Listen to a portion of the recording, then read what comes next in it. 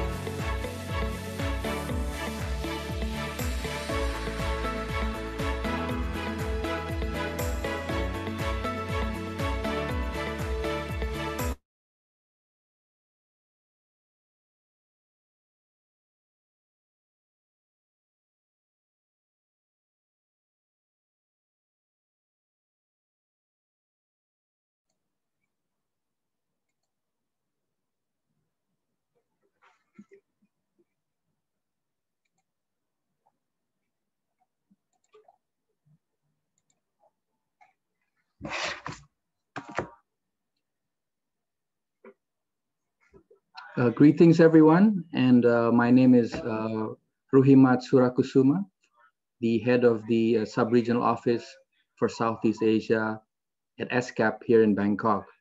Uh, welcome to the roundtable discussion on empowering ASEAN women in agriculture. Uh, this event is co-organized by the ASEAN Secretariat, UN ESCAP, Grow Asia, Institute for Social Entrepreneurship in Asia, and Oxfam. So as we all know, Agriculture is a key sector in ASEAN, accounting for a substantial share in the region's G GDP and employing an important segment of the workforce. Uh, statistics show that as many as 64% of employed women in Lao PDR are engaged in agriculture, 39% in Vietnam, and 34% in Cambodia. In the other member states, Thailand's one third of GDP is attributed to agriculture, more than 30% in Indonesia and 8% in the Philippines. Of course, throughout the decades, there has been a shift to manufacturing and other off-farm services sectors in several of these ASEAN countries. But a significant part of the population remains dependent uh, on agriculture. While agriculture is at varying stages of the development, there are remarkable similarities in the constraints faced by women in the agricultural sector. The COVID-19 pandemic has brought unprecedented challenges for the agriculture sector. And even more so, it has affected achieving the progress in the Sustainable Development Goals including goal one on no poverty, goal two on zero hunger, but also has the potential to reverse or at least regress uh, the progress made in recent years. These, those highly impact, impacted uh, by the pandemic include women in the agricultural sector. It is in this regard, the impact of the pandemic has signaled a call for action that addresses across cutting issues. Therefore, it is timely that this roundtable discussion is organized with the objectives of one, dialogue and learn on the ASEAN policies on women's economic empowerment, especially as they relate to women in agriculture and the agricultural value chains. Two, advance inclusive recovery and building back better the fairer given the impact of COVID-19 in the agriculture sector. And thirdly, explore ASEAN policies on food security, resilience, and women's economic empowerment. Allow me to begin the program uh, with a opening remarks from His Excellency Kung Phoak, who is the Deputy Secretary General of ASEAN Social Cultural Community to deliver his remarks. Your Excellency, you have the floor, please. Thank you very much, uh, Ruhi. Uh, senior officials and representatives from the ASEAN uh, sectoral bodies and ASEAN entities, representative from civil society organization, international organizations, the academic, the private sector, and partner organizations. Excellencies, ladies and gentlemen, a very good afternoon. Uh, at the outset, I would like to thank the organizer for giving me the opportunity to attend the event this afternoon. Uh, this roundtable discussion uh, is indeed timely and relevant since it provides a platform to investigate and also articulate the links and nuances of strengthening the agencies of women in agriculture in the ASEAN region. Uh, and in particular, we have an opportunity to share and unpack good practices at national level and also regional level that can inform and shape future policies and programs.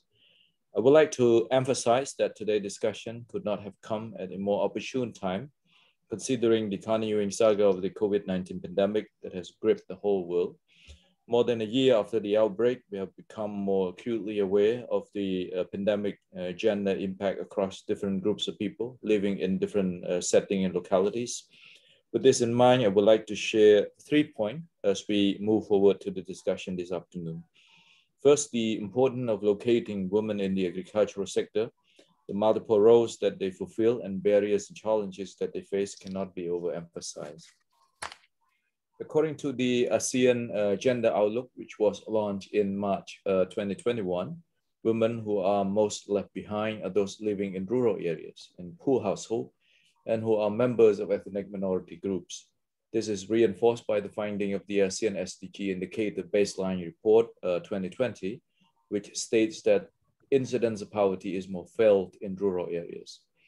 Uh, admittedly, the immediate impact of the COVID-19 pandemic has been primarily urban, considering higher population densities and the difficulties of physical distancing. The pandemic economic and social impact is rapidly uh, crippling to urban areas.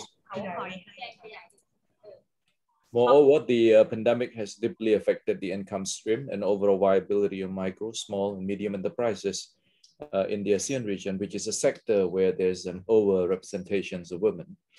This finding point toward a more nuanced understanding of the roles of uh, women in fulfilling within the agricultural sectors and the dynamic interplay between rural and urban areas. Such finding also invite us to uh, interrogate um, the incidence and impact of women migrant work vis-a-vis building and sustaining local rural economies. Uh, second, it is imperative to unearth and unpack the dynamic interlinkages uh, between cross-cutting sectoral issues to empower women in agriculture. We are very fortunate to have representatives from uh, ASEAN body working on various sectors such as on food, agriculture and forestry, rural development and poverty eradication, gender equality and women empowerment, and promotion of the micro, small, medium enterprises in the ASEAN region. The conversation this afternoon, hopefully, uh, will add value to the respective core work of this ASEAN body. And beyond that, there's an opportunity to identify pathway and entry point that link this uh, work stream. Undertaking such an analysis uh, requires uh, interrogating the productive and reproductive role of uh, women and men in various and oftentimes overlapping contexts unique to the ASEAN region. This refers to, for example, rapid uh, urbanizations, aging society, the frequencies and increasing intensity of disaster and the digital revolution. In analyzing the link between these uh, cross-cutting uh, areas of work, uh, we are fortunate to benefit from the perspective of stakeholders in the region. Uh, truly, a partnership is key in ensuring a robust understanding of this issue and ultimately the translation of such understanding into concrete action. Uh, finally, uh, empowering women in agriculture relies on women's own agencies, uh, powers, and voice. And that is our collective responsibility to seize opportunity to work together toward this end. From the ASEAN perspective, uh, let me share some concrete entry points uh, at the regional level. ASEAN has been engaged in mainstreaming gender in all aspects of its work. The ASEAN Gender Mainstreaming Strategic Framework is currently being finalized and intends to guide all ASEAN sectoral bodies and the ASEAN member state in introducing gender perspective in their areas of work. Uh, as ASEAN moves toward recovering from the COVID-19 pandemic, ASEAN has adopted the ASEAN Comprehensive Recovery Framework, and the framework articulates that women has been uh, impacted disproportionately by the pandemic. It also recognizes that women comprises 70% uh, of frontline responders, social worker, health professional, community volunteers, and majority of caregivers at home and in communities. Uh, under the broad strategy on strengthening human security, the recovery framework mainstream uh, gender equality uh, throughout the recovery scheme and action of ASEAN. It intends to build resilience, particularly through women's economic empowerment and tape the agencies of women as driver of the recovery process. Uh, I, I, also would like to underscore that during the ASEAN uh, Women uh, Leaders Summit, held in November 2020, uh, uh, the ASEAN leader committed to place women leadership and contribution at the heart of the recovery uh, efforts, particularly in the implementation of the ASEAN Comprehensive Recovery Framework and its implementation plan. So to conclude, it is my hope that we all learn from the exchange of knowledge and information this afternoon.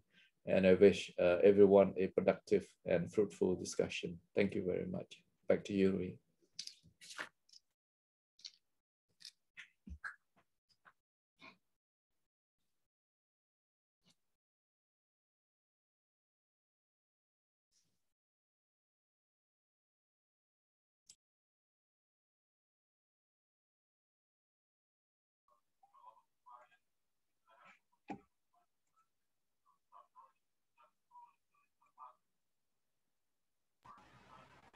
Ronnie, you may now go ahead. Okay, uh, thank you, uh, DSG Excellency, for uh, uh, for your remarks. Uh, may, may I also take this opportunity to welcome all participants joining this event. From the registration, we have uh, representatives from governments, cooperatives, SME, as well as NGOs.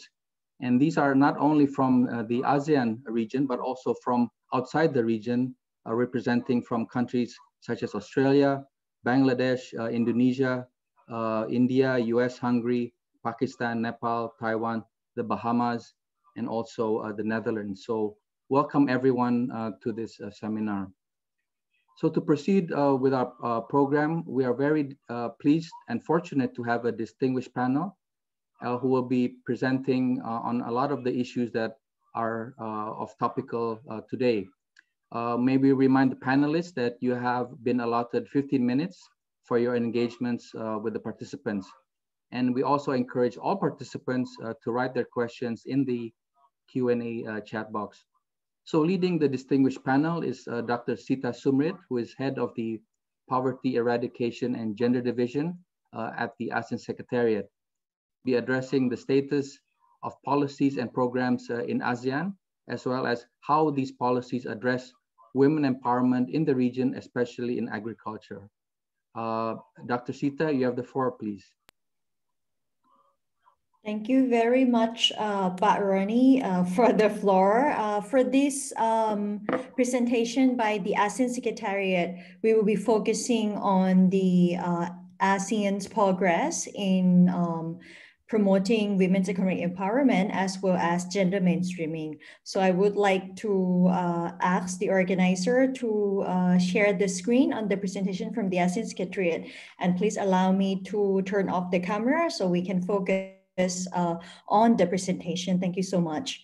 So uh, for um, this presentation, Advancing Women's Economic Empowerment and Gender Mainstreaming in ASEAN, uh, we would like to highlight uh, two interconnected efforts uh, by ASEAN in, of course, uh, addressing um, the importance of women's economic empowerment. So here is just a very quick uh, snapshot on the statistics uh, on gender in the economy, uh, especially on women making up around half of the graduates in most ASEAN countries, but only 30% um, make it into the leadership positions at work.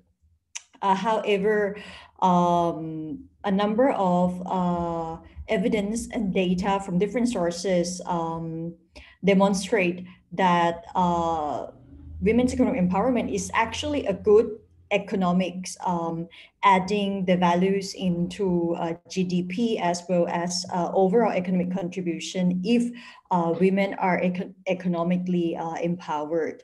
Also, uh, we would like to bring your attention, uh, of course, to the smart economics, including um, mainstreaming gender and empowerment of women and girls into the education, uh, level, as well as financial and digital inclusion, legal protection, as well as unpaid care work. So we highlight unpaid care work and then we come back uh, to this uh, later. Next slide, please.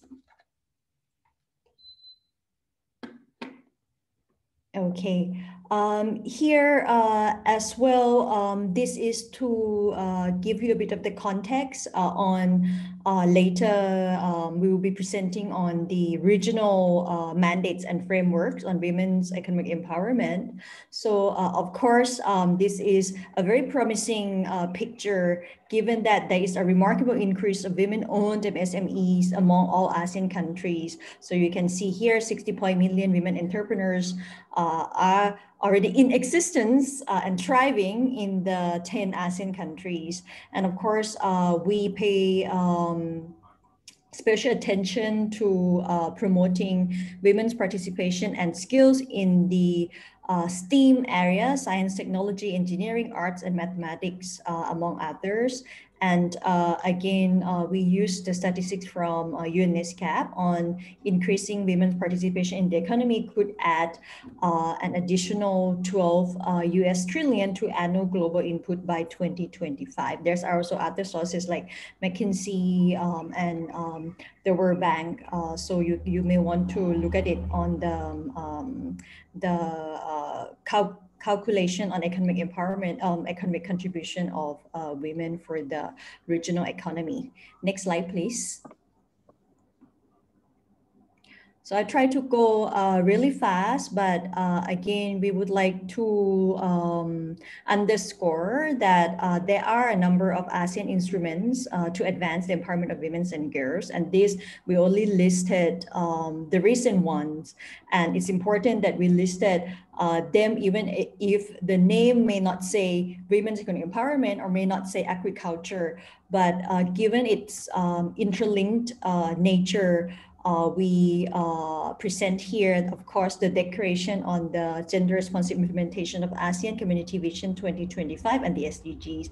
So this was the first explicit attempt, not only to bridge uh, ASEAN Vision and the SDGs, um, but also to uh, ensure that gender uh, is taken into account as cross-cutting um, issue and lens um, for these uh, two very important uh, vision and goals.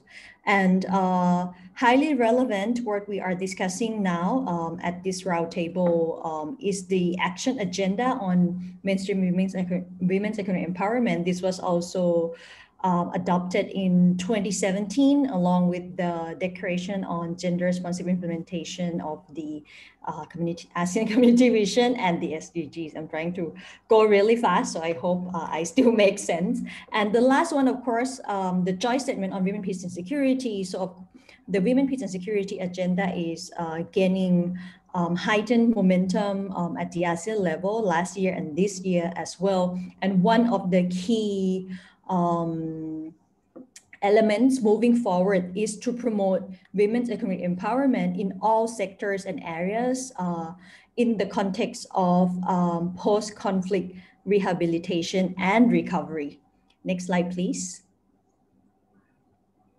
So um, for this slide, uh, we just want to show you very briefly the action agenda on mainstreaming WEE in ASEAN. So if you look at one uh, to six, uh, these are uh, the key action points that we hope uh, to accelerate and implement um, to promote uh, WE in ASEAN, including, of course, addressing all the barriers, promoting women's participation and skills development, in ICT and in the STEAM areas, as well as increase uh, investment, um, especially in the area of MSMEs and increase um, women's representation and leadership in the workforce. So this uh, came across uh, very strongly in the messages of the ASEAN leaders uh, during the first um, ASEAN Women Leaders uh, Summit held uh, last year.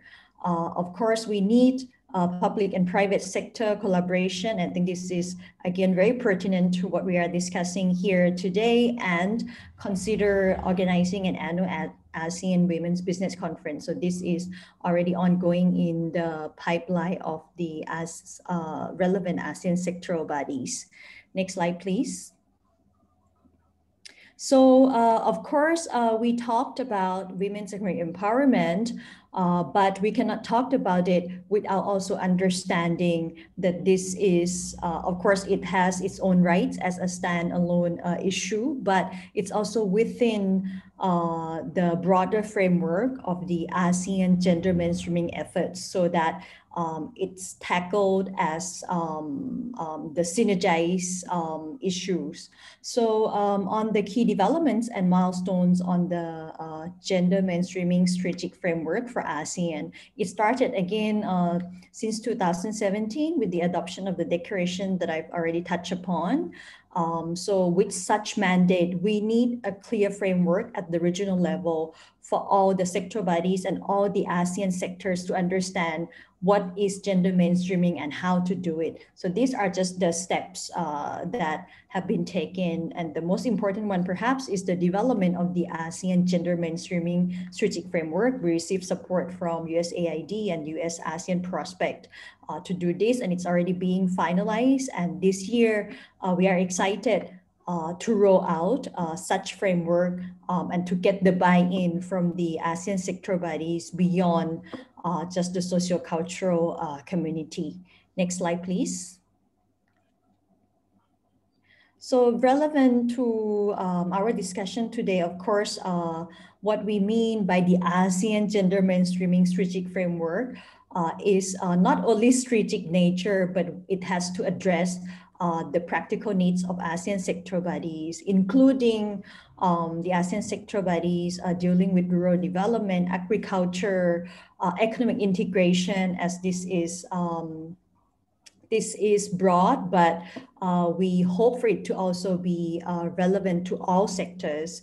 Um, it also uh, serves as a tool for the ASEAN member states and ASEAN to achieve gender equality goals. So mainstreaming uh, gender and promoting women's economic empowerment at the end of the day uh, will fit into the overall goal of uh, achieving gender equality and empowerment of all women and girls uh, in ASEAN. Uh, we also attempt to enumerate key milestones until 2020, 2025. So it's in line with the um, the current ASEAN community vision, and uh, we also add in the forecast for the vision post 2025. So um, we really hope that this will be an impactful and long-lasting framework that ASEAN and the ASEAN uh, sectors uh, can use in the long run. Next slide, please. Okay, so this I, have already explained that it's uh, an overarching framework, but we also want it to be practical. And at the same time, there will be uh, capacity buildings, dialogues, um, and other endeavors uh, to ensure that people uh, are aware and understand and can really use this uh, framework. We don't expect this to be uh, adopted and um, applied by all ASEAN sectors without um, capacity building and the ongoing dialogue. And that's why this roundtable is also very important for the agriculture sector as well as the SMEs uh, sector and women sector to come together uh, to um, learn. Um, and we hope that this is also part of the dialogue and capacity building efforts uh, to mainstream gender into uh, all sectors of ASEAN. Next slide, please. So um, these are the practical uh, milestones that we would like to highlight, uh, including um, a very uh, laudable um, efforts of the AMAF or the ASEAN um, sector working on agriculture um, and uh, forestry uh, as they are one of the first movers uh, in uh, mainstreaming gender in the food, agriculture and forestry uh, sectors. Um, you can of course consult um, their guidelines on gender mainstreaming also available online. Um, so these are uh, the attempt to apply a gender perspective um, in um, the agriculture uh, sector, including uh, relevant uh, programs to ensure that women working in food, agriculture, and forestry uh, sectors in ASEAN are empowered. So um, this, uh, they use the empowering approach to um, gender mainstreaming. And of course, it's also concerns uh, when we talk about women in agriculture, it's also concerns the label, uh, the labor and empl em employment policies to promote decent work uh, for all. So there's already the task force working on gender mainstreaming in the labor and employment policies to promote decent work uh, for all. And this is led by uh, the labor sector of uh, ASEAN.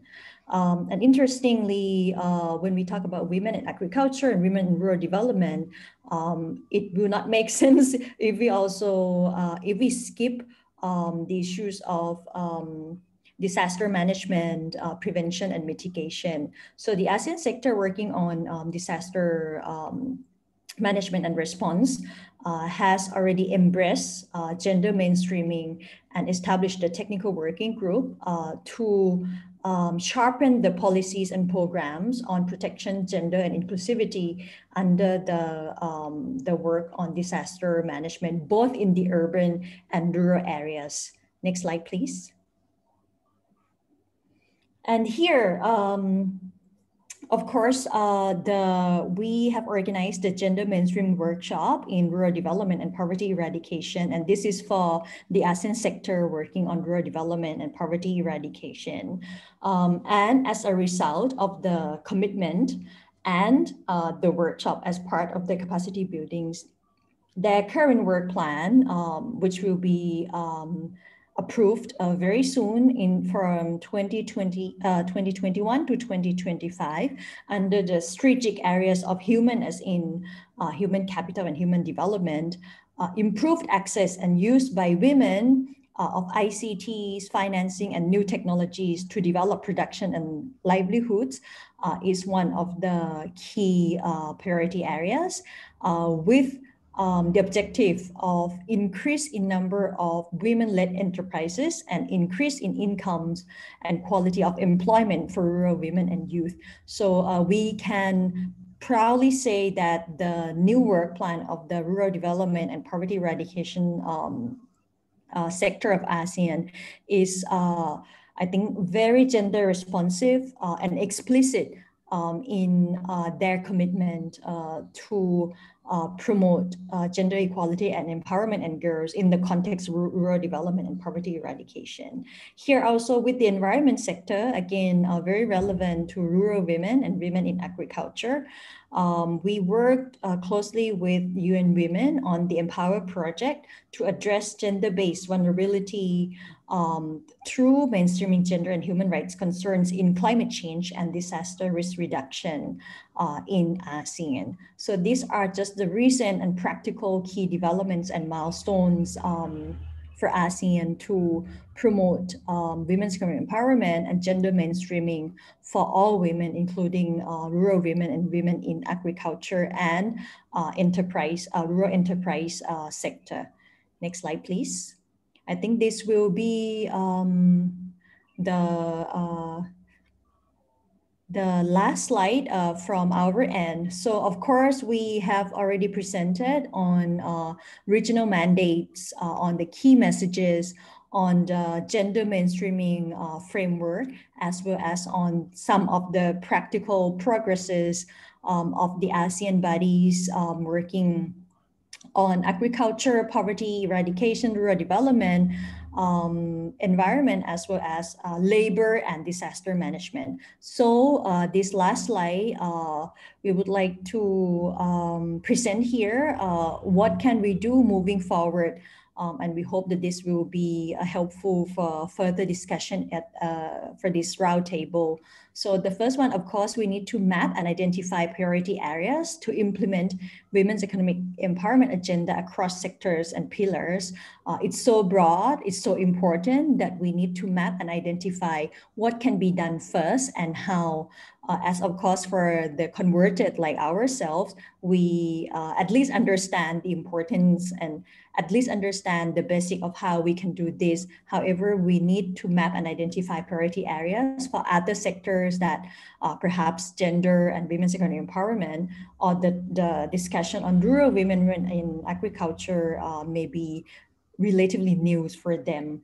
Uh, second, uh, promoting cross-sectoral and cross-pillar dialogue and collaboration. So before we go into collaboration, it's important for us to create the dialogue uh, for mutual understandings or misunderstanding that's also fine so that we can find the solutions in working together. Um, number three, of course, identify entry points um, and mainstreaming women's economic empowerment in the work of ASEAN sector. And uh, we highlight here the work plans 2021 to 2025 because this is the new entry point as most of the ASEAN sectors are starting their new work plan uh, this year.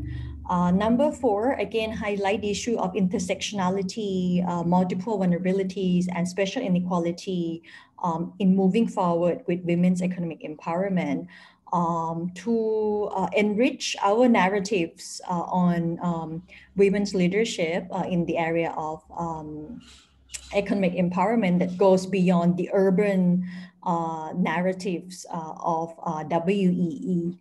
Number five, of course, conduct more research and evidence-based analysis to inform policy and practices, especially on WE and unpaid care work, um, and the issue of unpaid care work is uh, high on the agenda of the ASEAN Committee uh, on um, Women, um, especially in um, the context of their uh, current work plan, 2021 to 2025, as unpaid care work uh, is um, often identified as one of the key barriers uh, for women's economic empowerment uh, for women, whether they are in the urban or rural sector.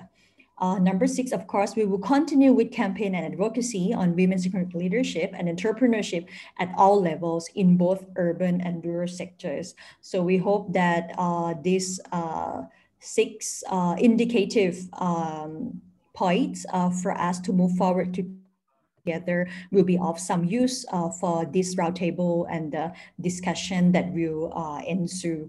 So we, um, we would like to end the presentation from the ASEAN Secretariat here. Uh, thank you very much. And I would like to hand over the floor to our moderator. Thank you. Uh, thank you, Dr. Sita. Uh, a very well uh, presentation. Um, I would like to apologize. I'm having some technical difficulties on, on the video, but I hope you can hear me well. So uh, again, Dr. Sita has uh, updated on what ASEAN is doing with respect to the uh, WEE. And I think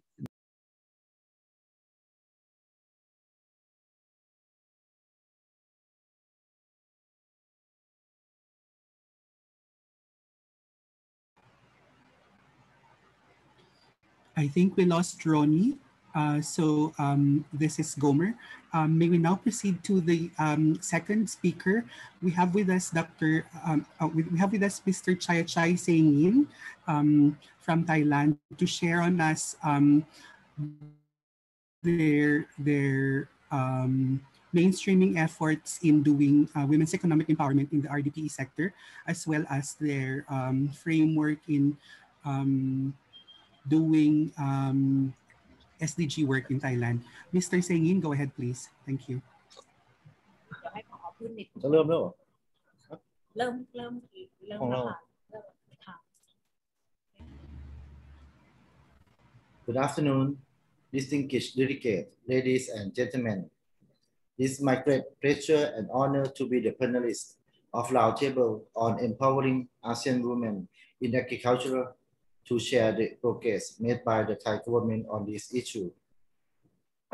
Thailand is one of the ASEAN as the land of agricultural and fisheries country because of the geography of the country. The 70% of our population is the farmer.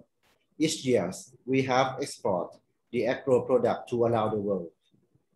The Royal Thai government have realized to policy tracking to ex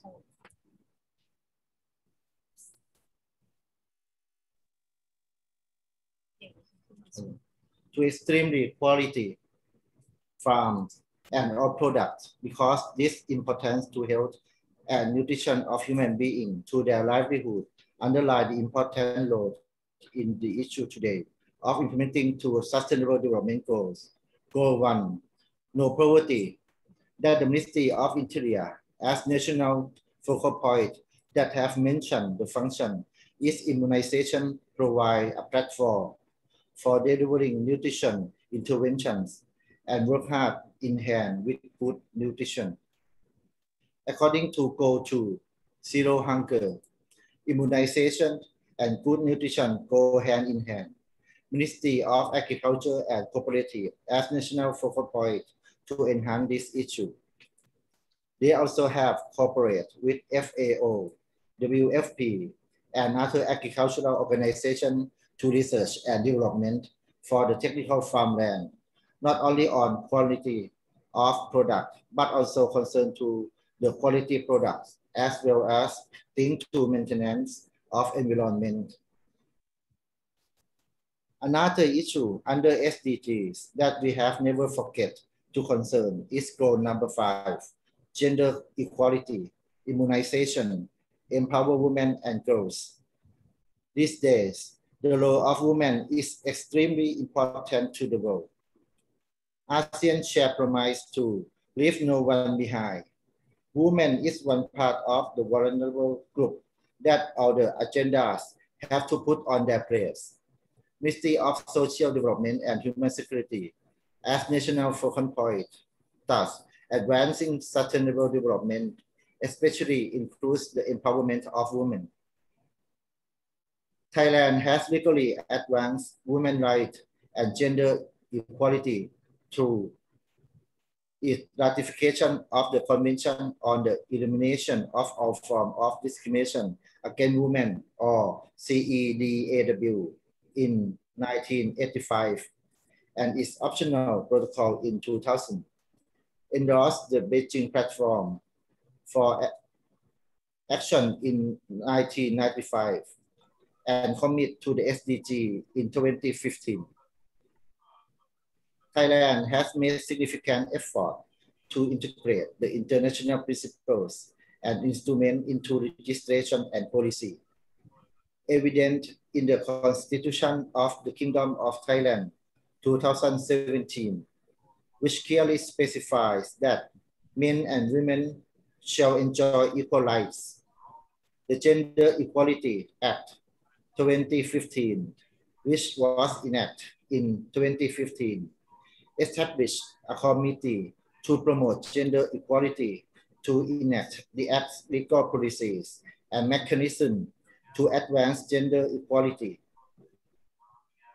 In addition, the Women Development Strategy developed by the Ministry of Social Development and Human Security set out goals, objectives, and targets in the area of gender equality, which will be steering tools for effective budget allocations. Thailand has a greater percentage of women in senior leadership positions than both the Asia Pacific region and global average.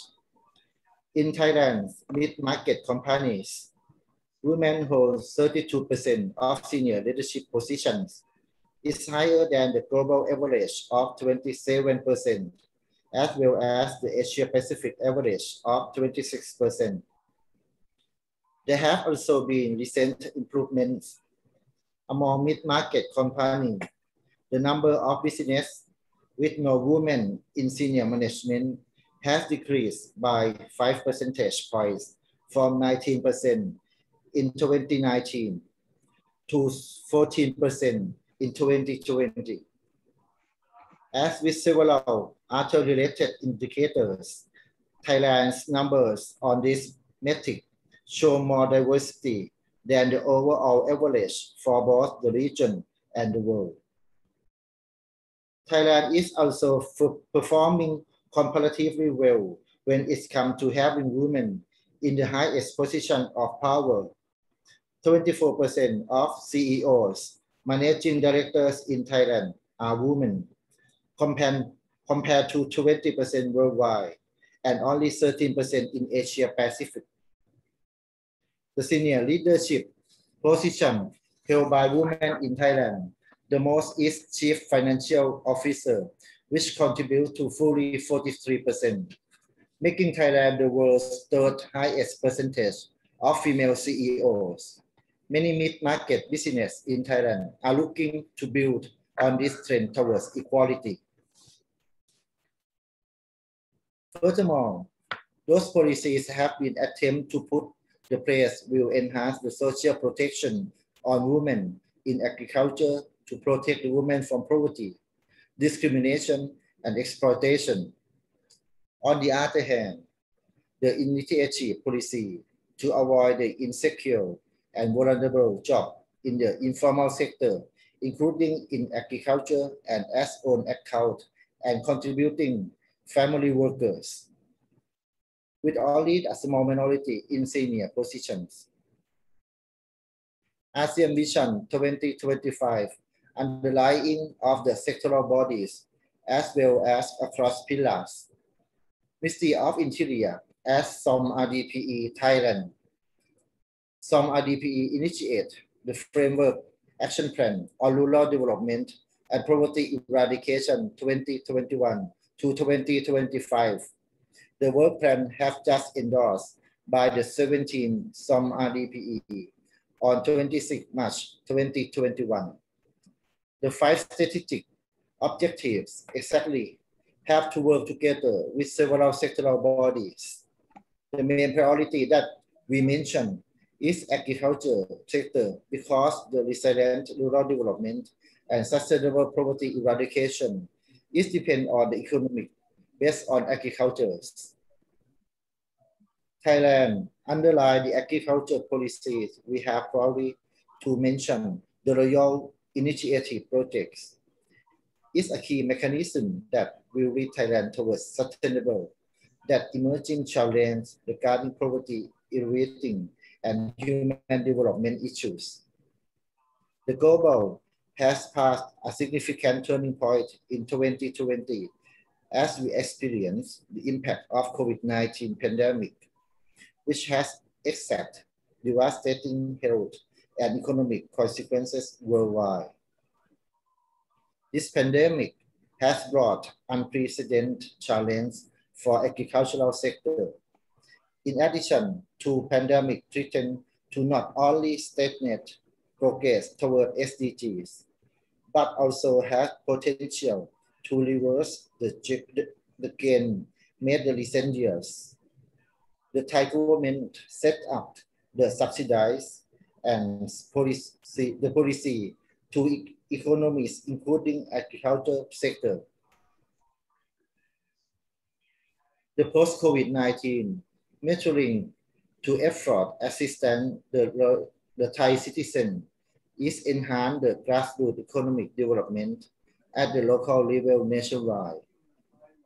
The national consumption factor, the monetary institutions such as Bank of Agriculture and Agricultural Cooperative, set to the initiative project such as emergency loan project, jumpstart credit project.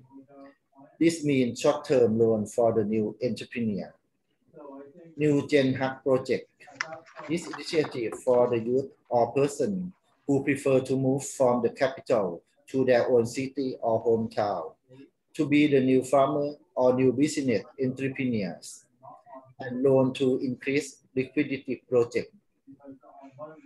Second, developing human capital is a key mechanism that will lead Thailand toward sustainable poverty eradication.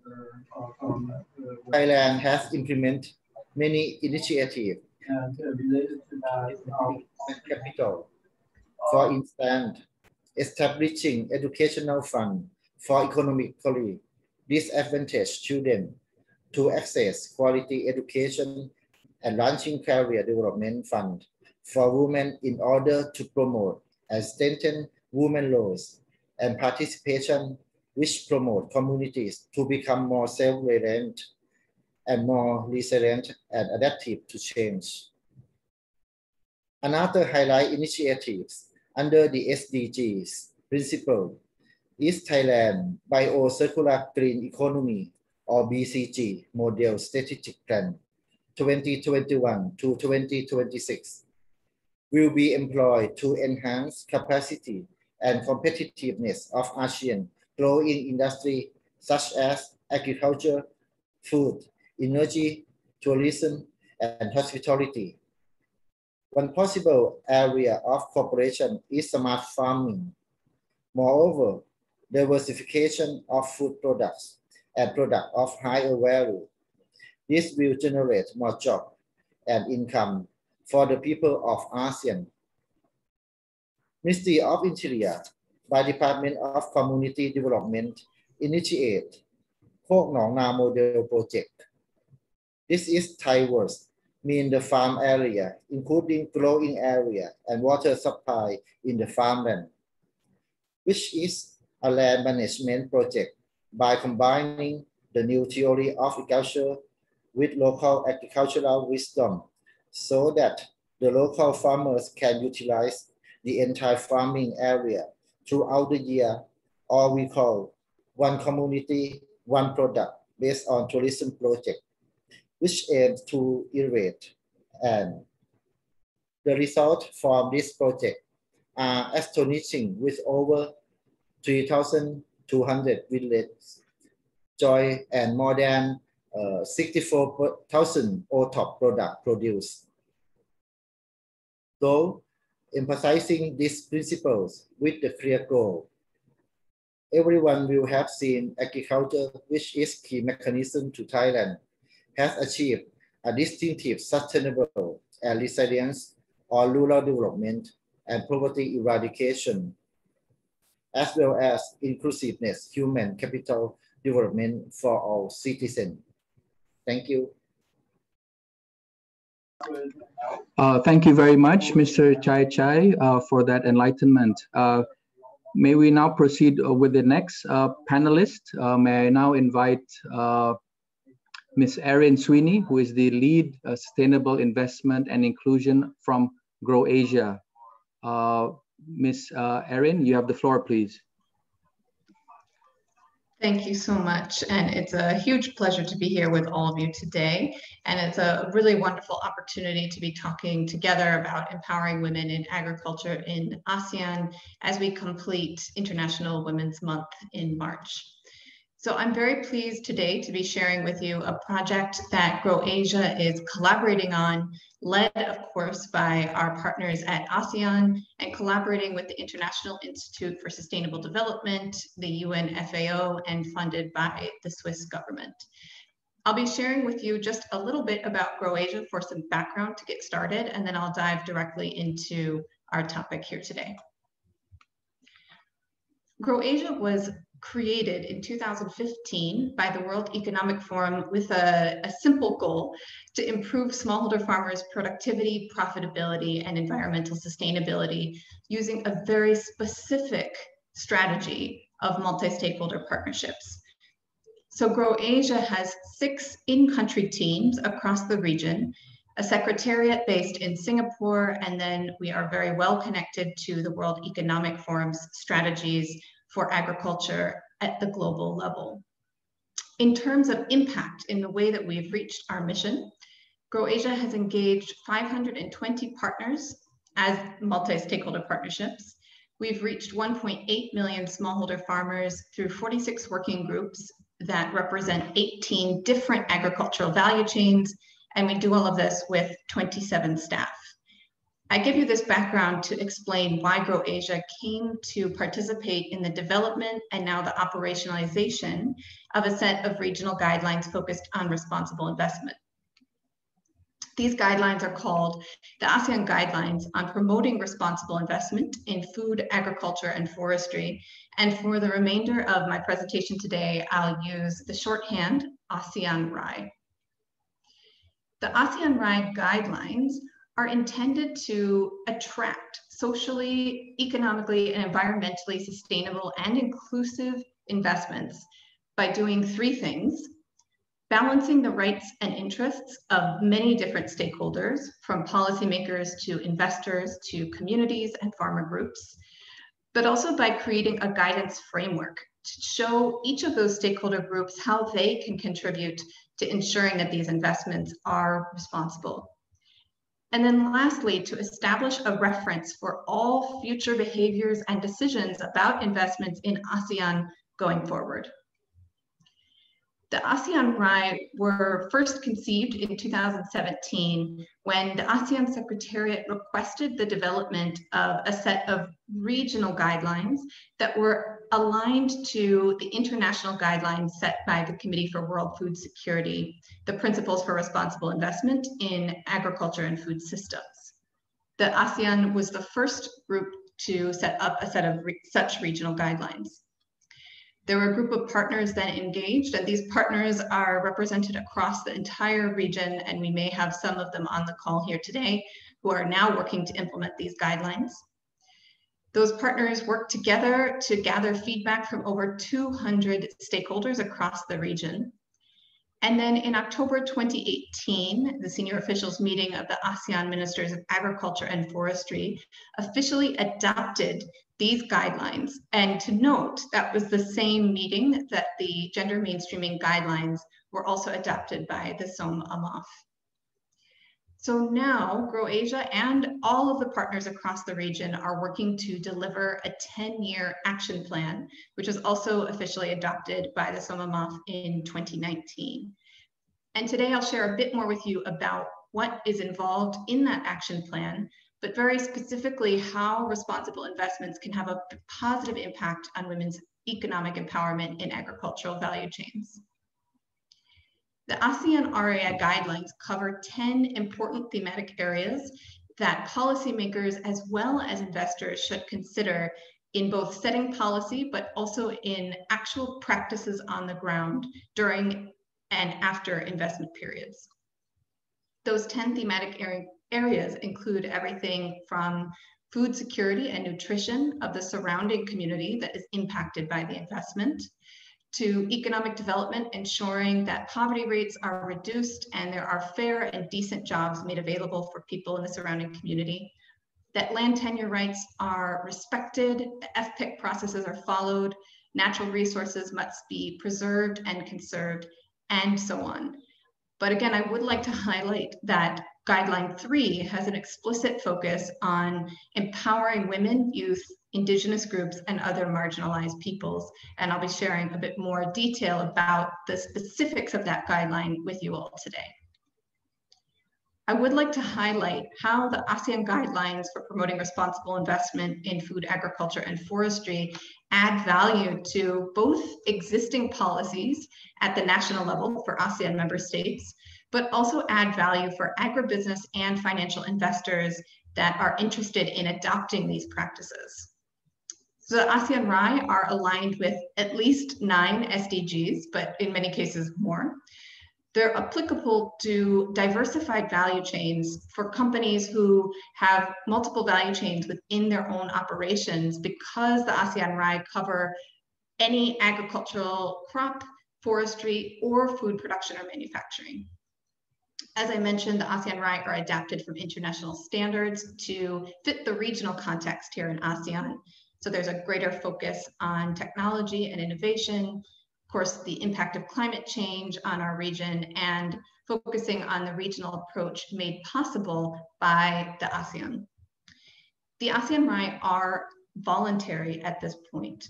But through the 10-year action plan, the project partners will be helping to integrate these guidelines into national policy. And then, of course, they will become required for all stakeholders to follow. I point out here that multi-stakeholder engagement is a requirement of achieving responsible investment in ASEAN. Of course, everything from the investors making the project on their own value chains the role of the policymakers setting the guidelines for investors to follow, financial institutions to provide backing that requires investors to follow such standards, and then civil society groups, farmer organizations, and communities where those investments are taking place must also understand the ASEAN RAI guidelines and be able to hold stakeholders accountable as part of the role of community, I'll now take you through a deep dive into how women and youth are both particularly engaged and have the opportunity to be empowered through the operationalization and implementation of the ASEAN RAI. We know that women in ASEAN and agriculture face a wide variety of constraints. We've heard about them from the previous two panelists at the regional level and then specifically in Thailand. So I'll take just a moment to highlight the six constraints that the ASEAN RAI are particularly focused on. Those include the fact that women's contribution is often invisible in the sector because they contribute very low or unpaid labor in agricultural value chains. There's often lower access to employment for women, particularly during investments that involve putting in some kind of manufacturing facility there's the ongoing challenge that women face with access to land rights and tenure and titles, as well as resources such as agri inputs and financial capital. Women struggle with access to gender sensitive and responsive education, information, and trainings, including the kinds of field level trainings that investors provide as part of their investments. And this might be due to uh, sociocultural barriers uh, or to women not being invited to participate directly or many other reasons. We also know that women face increased vulnerability to the socioeconomic impacts of climate change and are more likely than men to have to produce food on degraded land that has uh, struggled and particularly land that has greater soil erosion due to the challenges that they face around land tenure rights. And then lastly, women in ASEAN face challenges related to participation in community decision making, again, for a range of socio, social, cultural, and political reasons. So the ASEAN RAI guideline number three gives very specific suggestions for ways that policy can ensure investments actually foster equality, engagement, and empowerment of women. We know that responsible investment contributes to a wide variety of opportunities for women, which I'll now share with you. Everything from the promotion of human rights and a more equitable access to opportunities to acknowledging women's contribution to the sector. That inclusive business models ensure women have access to jobs and even to entrepreneur, entrepreneurial opportunities along agricultural value chains. It also can contribute to women having increased access to land when investors are able to request and require to see land titles of the surrounding farmer communities. We do see lowered vulnerability to climate change when investors are paying attention to the impact of protecting natural resources around the investment site and to mitigating climate change in whatever ways they can. So that comes back to benefit women in the value chains as well. And then during consultation periods and throughout the process of making an investment, investors can and should ensure that women are engaged and participating actively in decision making and leadership around those kinds of community consultations that investors are required to conduct in many cases.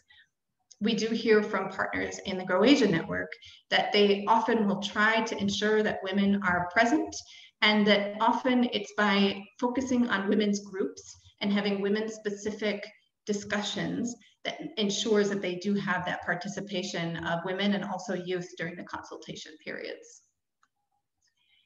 The ASEAN RAI Guideline 3, but also woven throughout all 10 guidelines, also provide suggestions for, again, policymakers in terms of the policy they can put in place, as well as practices that investors can follow during investment periods.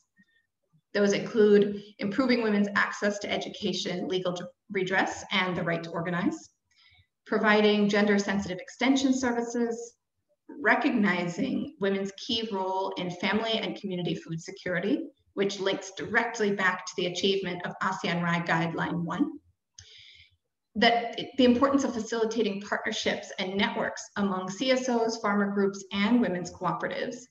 And then also that focus on young women and young people's access to resources, markets, and opportunities throughout the investment. Through Grow Asia's network of those 520 partners, we've had the opportunity to learn from our agribusiness partners, several of whom you will hear speaking as reactors later today, about why agribusinesses and financial institutions are interested in investing in women during a larger investment project. So I'll share with you just this one case study, but there are many such case studies out there, and I look forward to having our reactors share additional details with you shortly. In this case, the East West Seed, which is a multinational seed company based here in the region but has global operations, runs a program called Knowledge Transfer that trains vegetable farmers, and they've already trained 300,000 women across the world. They focus specifically on women as their key trainers. And they shared with us that there's a business case for this.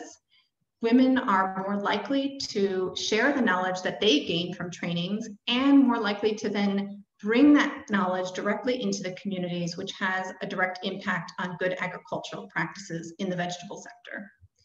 They found that women are also often use technologies more accurately than their male counterparts. And they're finding anecdotally that women tend to invest in better inputs when they see results, and they look for the same brands over and over again, which of course is a benefit to any individual company.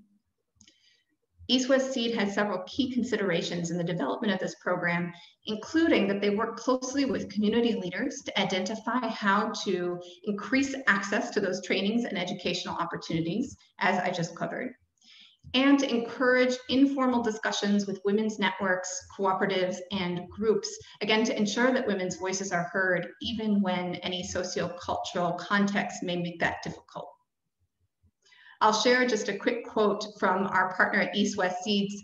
When asked how they engage women farmers as trainers, he replied that they ensure that women were aware if they took on that role as a key trainer, they could also balance that with the expectations that they face within their own families. And then as more women became comfortable, the company themselves noticed a big difference in the impact of their training programs on the surrounding community. I'd like to leave you with a few key considerations when we're thinking about, again, the role of women in agricultural value chains, specifically in the context of responsible investments through the ASEAN RAI guidelines. We know, and our speakers have already highlighted this, that women's roles in decision making, access to resources, and agency vary widely across ASEAN, which is why when we're looking at regional policy recommendations, we must also consider the specific geographic, social, cultural, and political context when we're promoting this regional harmonized approach. Lastly, I'll just share with you a few details about what we're planning to do in ASEAN RAI 10-year action plan together with partners across the region. And I do encourage any of you on the call today to get in touch with us to become involved in this process. The vision is that by 2030, together we can facilitate a measurable increase in responsible and sustainable private sector investment. The first pillar of work includes direct support to ASEAN member states to integrate the ASEAN RAI into national policies. The second is to develop a learning and accreditation program, which will ultimately offer online courses to train over 400 investment experts who can advise on future investments in the region. We will be having annual events to share learnings and best practices across any stakeholders involved in responsible investment, as well as national workshops specifically targeted at farmer organizations and NGOs. And then lastly, we'll be working closely with agribusiness and financial investors to help understand how the ASEAN RAI can contribute to their existing commitments to various tools and standards. And we're currently putting together a series of case studies that demonstrate how agribusiness investors are already following responsible practices across the region. And we'll use those case studies in informing policy consultations together with the ministries of agriculture in any of the 10 ASEAN member states. I'd also like to take this opportunity to alert everyone on the call today that our partner, the International Institute for Sustainable Development, together with the ASEAN Secretariat, has developed a tool for ASEAN member states to use to align and understand the existing alignment between their own policies and the 10 principles of the ASEAN RAI. That tool has already been made available directly to ASEAN member states, and we will soon be featuring it on our website.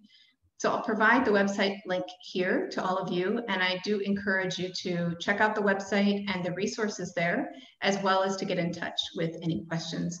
Thank you again so much for your time, and I look forward to hearing from the next speaker. Thank you very much, Erin, uh, for explaining um, how the RAI or uh, guideline addresses uh, women's empowerment in agriculture. So, so Erin highlighted that um, uh, women in agriculture in ASEAN face barriers uh, quite unique compared to men, uh, especially related uh, to their participation in community uh, decision making, uh, vulnerability to the impacts of climate change, and access to education and also to trainings. So, therefore, I think the message is that if investors ignore these challenges, which are relatively unique, uh, they may worsen or negatively impact women's uh, economic opportunities, uh, specifically in the agricultural communities.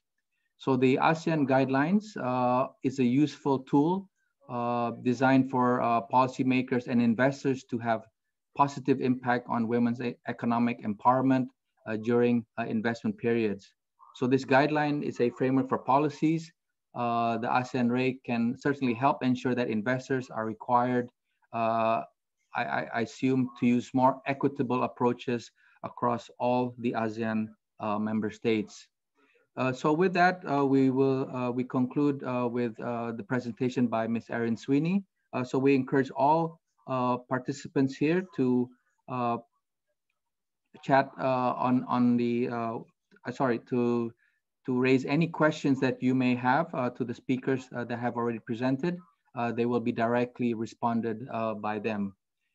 So as, as uh, for the next uh, agenda, uh, I would like to inform that over the past months and considering the disruptions caused by the COVID-19 uh, pandemic, the Institute for Social Entrepreneurship in Asia, or ISEA, has been working on a set of guidelines which are meant to support and incentivize the practice of the benchmarks for transformational partnerships and women economic empowerment in the agricultural value chains among enterprises, corporations towards inclusive uh, recovery and building back fairer.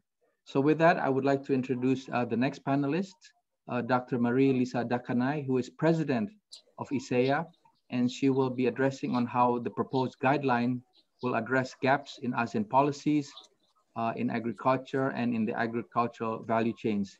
Uh, Dr. Dacanay, you have the floor, please.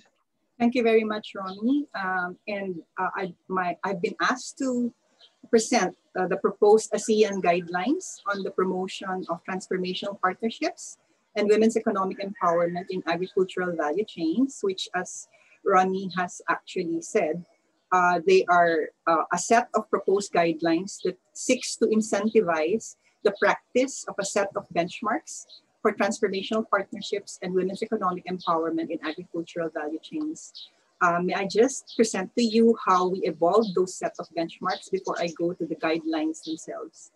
Uh, next slide, please. So we evolved the set of benchmarks for transformational partnerships and women's economic empowerment in agricultural value chains through an action research that we did as far back as 2015 where we looked at significant practices of social enterprises and inclusive businesses in agricultural value chains in the ASEAN. And we basically answered the question, how did these social enterprises and inclusive businesses successfully transform the lives of their partner small producers, especially women? So ISEA undertook this action research in the Philippines, Thailand, Vietnam, and Indonesia in partnership with Dompet Dhuafa and Bina Swadaya, Change Fusion, and CICIP. And we came up with these benchmarks. Uh, let me now introduce to you the benchmarks no, in terms of the principles. Next slide. So the benchmarks that we evolved from this study of best practices of social enterprises and inclusive businesses that have impacted uh, significantly on the lives of women small-scale producers and men small-scale producers in ASEAN uh, have these eight guiding principles. The first is women and men small-scale producers are actually assisted to be included in value chains through appropriate technology and community-based oriented innovation. The second guiding principle is that over time, women and men small-scale producers are able to get a more substantive share of value created over time in these value chains as they're not just producers, but they become processors, marketers, or even owners of their own brands of agricultural commodities or products. The third principle is about ensuring food security and resilience, that no matter the value chain, that these women and men small scale producers are actually assisted to be food secure and resilient. Uh, the fourth principle is about the empowerment of small producers. Uh, women and men small scale producers are assisted not only to become effective uh, workers, suppliers, uh, clients in agricultural value chains, but effective owners, as well as leaders and members of organizations that actually engage uh, not only in the value chain itself economically, but they become actors in their own development. Uh, the fourth, the fifth principle is about uh, women and men small-scale producers being assisted to become stewards, um, and to become stewards and stakeholders of um, sustainable consumption and production systems in agricultural value chains. Uh, the sixth principle is about transactional and transformational services that the women and men small-scale producers are assisted not only to become effective workers, suppliers, clients, but to become effective owners as well as leaders and members of organizations that um, that not only participate in value chain development, but also in community development. Uh, the seventh principle is about ensuring women's participation and empowerment, not only in the value chains, in, not only across value chain functions, but in all uh, value chain development organizations and uh, governance. No? Um, the last principle is about um, multi-stakeholder partnerships as well that has been actually mentioned earlier also by other speakers, um, that this uh, the multi-stakeholder partnerships that assist women and men small-scale producers produce measurable outcomes of transformation uh, in terms of the impact on the women and men small-scale producers, their uh, households, their communities, and the value chains and economic subsectors. Having explained to you these eight guiding principles uh, that um, guide the benchmarks for transformational partnerships and women's economic empowerment in agricultural value chains, we actually asked the question, next slide please, uh, what kinds of policies would support the practice of these benchmarks? Uh, we, as Ronnie was actually saying, we actually developed um, scorecards no, for social enterprises, inclusive businesses, uh, small women, uh, small, uh, small, medium, and um, small and medium enterprise enterprises as well as corporate agribusinesses and agricultural value chain program holders. We develop scorecards so that they can uh, be guided to, you know, um, practice these guidelines and these uh, benchmarks for transformational partnerships and women's economic empowerment in agricultural value chains. But when we did the policy research, we looked at what could be the the those that could support and incentivize the practice of these benchmarks. Um, and we noted that there were four major development challenges in ASEAN that make uh, the set of um, incentives and supporting policies important in the practice of these benchmarks. The first is the impact of COVID-19. No? The challenge of response, responding effectively to the effects and impact of COVID-19 and similar disasters on women and men small-scale producers and their need for food security, social protection, and resiliency. The second development challenge is the, the need for inclusive economic growth, no? uh, which is actually the challenge of inclusive economic growth that reduces poverty in the food, agriculture, and forestry sector, which from our study is not given enough attention by the ASEAN guidelines on responsible investments in food, agriculture, and forestry, and even such policies as the roadmap on the role of agricultural cooperatives in global value chains.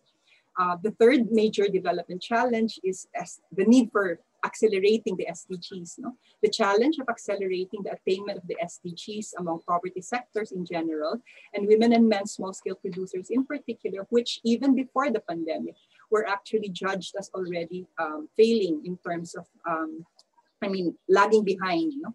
that they would not be achieved by 2030. And then the last major development challenge uh, is, the, is women's empowerment itself, the challenge of engaging women in agriculture and the informal sector as subjects for empowerment beyond women in the formal economy and women entrepreneurs, which existing policies on women's empowerment in ASEAN focuses on. So with, with, this, um, with this development challenges, we actually evolved the guidelines for transformational partnerships and women's economic empowerment in agricultural value chains through a, a policy research. And um, next slide, please. The, the, the guidelines themselves are aimed at the ASEAN economic community and the public sector in ASEAN. Uh, they're to be promoted primarily among ASEAN member states to encourage and enable agricultural value chain players to practice the benchmarks for transformational partnerships and women's economic empowerment in agricultural value chains through policies, incentives, program support, and related activities. And we noted the special role of social enterprises and inclusive businesses as the benchmarks were developed from their best practices. And we believe that the, the guidelines uh, need to be promoted by social enterprises, need to promote the role of social enterprises and inclusive businesses as transformational partners of women and men small-scale producers to bring the benchmarks to fruition.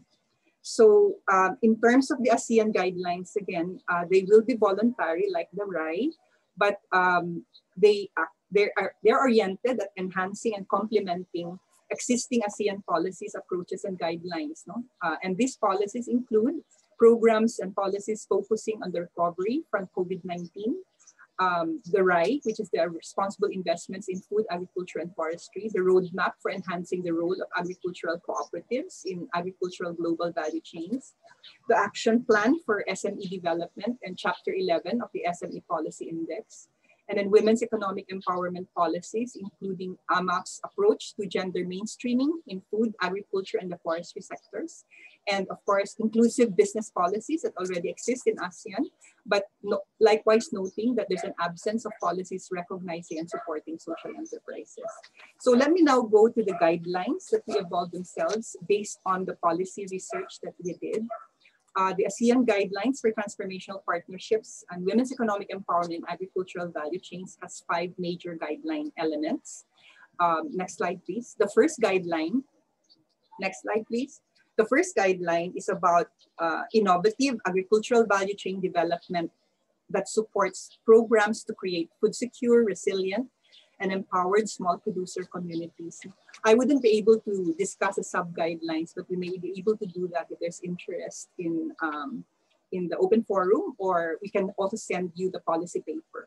Uh, the second, next slide, please. The second set of guidelines have to do with investments that expand and enable women's economic empowerment spanning all agricultural value chain functions and organizations engaged in AVC development, management, and governance.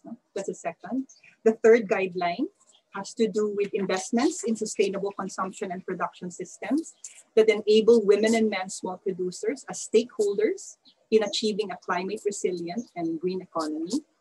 Um, the fourth guideline is about um, recognizing and supporting programs, including hybrid financing, a combination of loans and enterprise financing uh, for social enterprises and inclusive businesses as key enablers of women and men small-scale producers in agricultural value chains.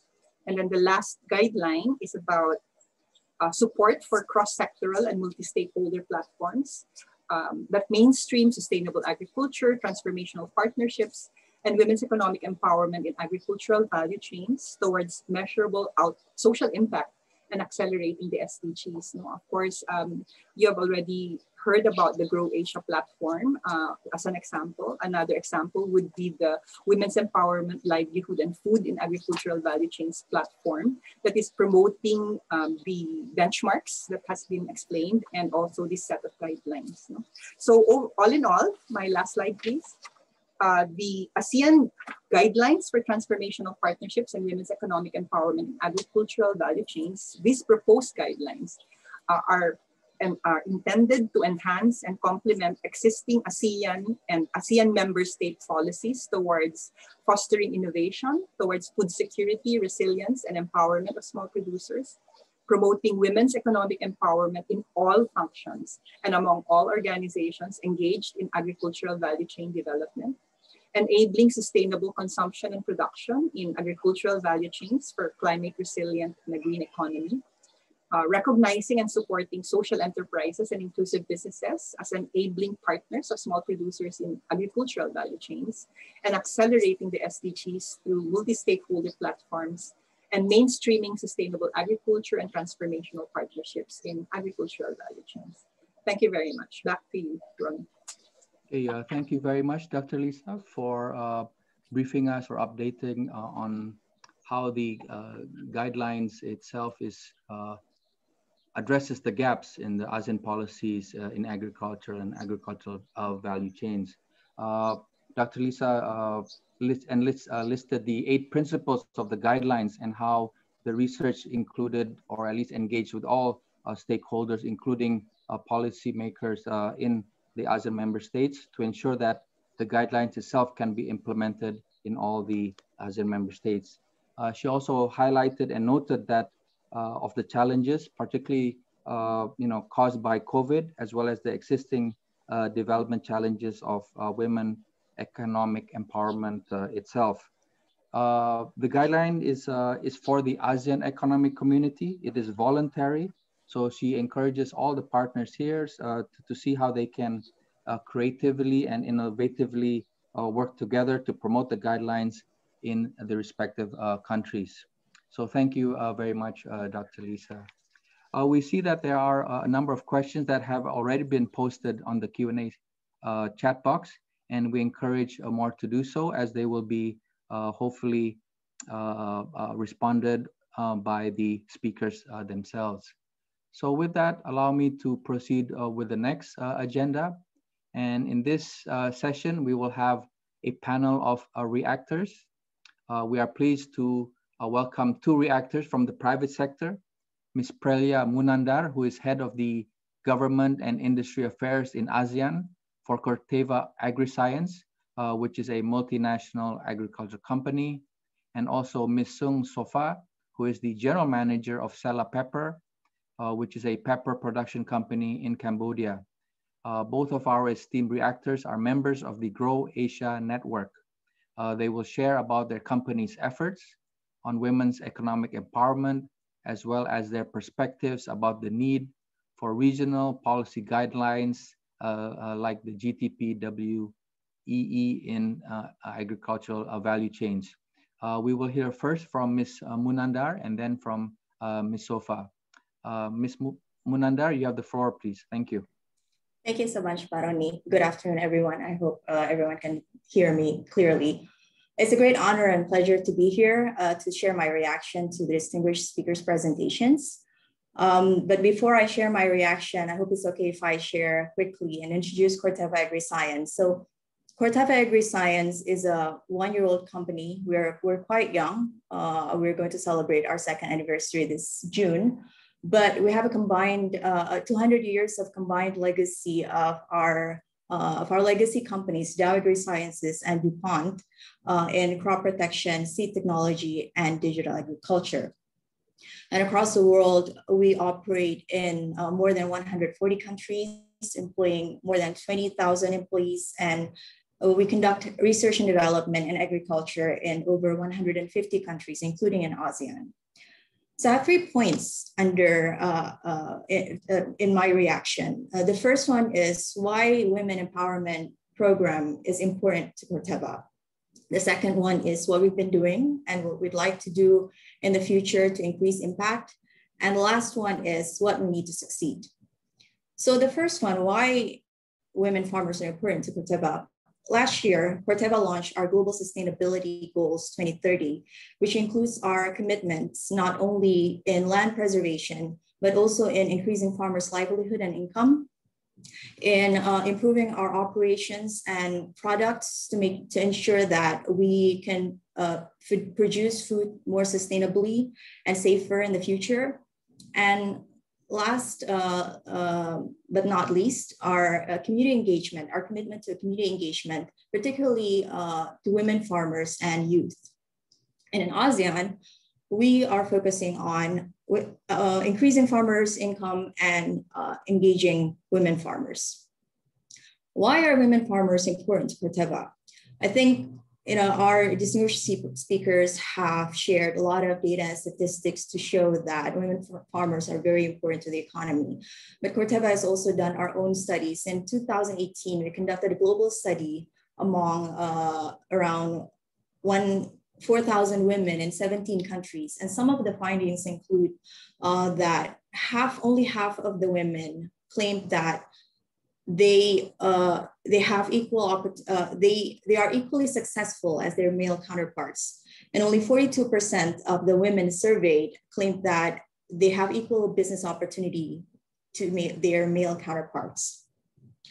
We also conducted a gender study uh, in Indonesia with our partner Prisma uh, among uh, 1,200 female farmers uh, in six provinces in Indonesia and one of the key findings that we found in the study is that women farmers are influencers in their farm's decision-making process, uh, meaning that they don't have the ultimate decision. The ultimate decisions are with their husbands, but they have a, lot, a, lot, a lot of influence in that decision-making process. And most importantly, they hold the first strings in the family, in the household. So I think that particular uh, data um, combined with a lot of the information that the speakers have shared, uh, including the case study that Erin uh, has shared uh, based on the East-West uh, seeds, this shows that there's a clear benefit to companies engaging women farmers and increasing their productivity and income. Now, what has Corteva done and what are we planning to do? So in ASEAN, we have several existing partnerships and programs. In Indonesia, we have been partnering with Prisma since 2016, uh, and we have benefited around 14,000 farmers, 37% of them women, and increased their income by 170% uh, net income uh, with our hybrid corn seeds. In the Philippines, uh, we have set up more than 50 edu farms across the country, uh, reaching around 1,000 farmers. And we this partnership wouldn't have been possible without the support of the Department of Agriculture in the Philippines that helped us to map locations and prioritize areas where we can make the most impact to farmers. In Vietnam last year, we trained 50,000, around 50,000 women farmers in partnership with our distributor. And we've also, together with Grow Asia and other partners, launched Grow Her, a microsite to help women farmers and agripreneurs develop using the information, resources, and inspiring stories that are available in the microsite. So those are, you know, with, with all these programs, we also would like to launch a new program in partnership with Grow Asia this year called Thrive. So the purpose, the objective of this program is to uh, develop a, a, a training uh, program and business development program that specifically addresses challenges of women farmers and agripreneurs in ASEAN. And we're going to uh, pilot this uh, program uh, first in Indonesia, Vietnam, and then later in the year in the Philippines. Now, what do we need to succeed? We are very excited and encouraged by uh, Dr. Uh, Dacanay's um, presentation about the ASEAN guidelines, GTP, and WEE and AVCs. This is still a mouthful of uh, abbreviations for me. Uh, and some of the points in the guidelines that I particularly think would be able to support our efforts in ASEAN are encouraging the formation of women-led small producer associations, recognizing the right of women to own land, and addressing systemic barriers to gender equality and entrepreneurship. Corteva is looking forward to play our part uh, through our existing programs and also through the upcoming Thrive partnership with Asia and other partners, which looks to be aligned with the guidelines, particularly related to trainings and mentorship programs for women farmers and agripreneurs. We believe that a harmonized approach to WE in AVCs across ASEAN would really help us in facilitating such partnerships in the future and we welcome additional partners to the project so we can reach more women and make a measurable and sustainable impact together. And we look forward to engaging policymakers in ASEAN to see how we can jointly advance women entrepreneurship. That's all from me, Paroni. Uh, thank you so much for the opportunity to share my reaction. Uh, so thank you, Prila, for that. Um, we can go with our next uh, reactor, Ms. Uh, Sung Sofa, please. You have the floor. Okay, uh, thank you so much. And uh, it's very a pleasure for me to be part of uh, this Asian woman empowerment. Um, yeah, so first of all, I would like to give uh, you all about uh, um, myself and the company. Yeah, so uh, my name is Sopar and I have been working for Stella Pepper as a general manager for six years. So I was the um, the first, I mean, staff at the company to build up the facility and to build up the management and everything for the company. And uh, yeah, so right now it's a Stella Pepper is a, a manufacturing for black pepper and exporting to overseas, and we have all the um, international food safety standard. And um, Yep, uh, we have our own product and selling directly to the supermarket.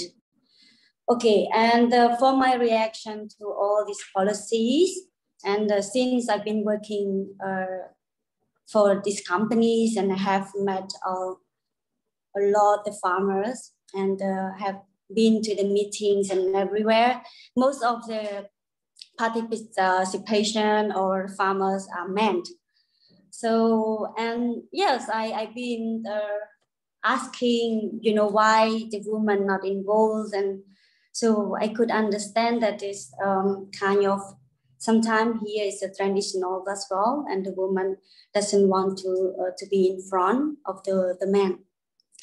And uh, yes, so, but right now, slowly, slowly, the woman more involved with the agriculture.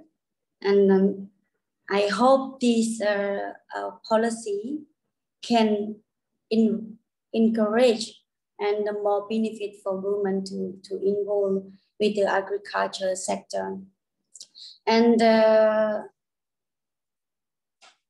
I really, I mean, I just, after this public, the, the policies and everything, and I hope that uh, it will be a good implement to this uh, policy. And I would love to see more and more women to, to, uh, to interact to the agriculture because it's not only manpower and it's a woman are playing a very important role in this uh, agriculture sectors as well.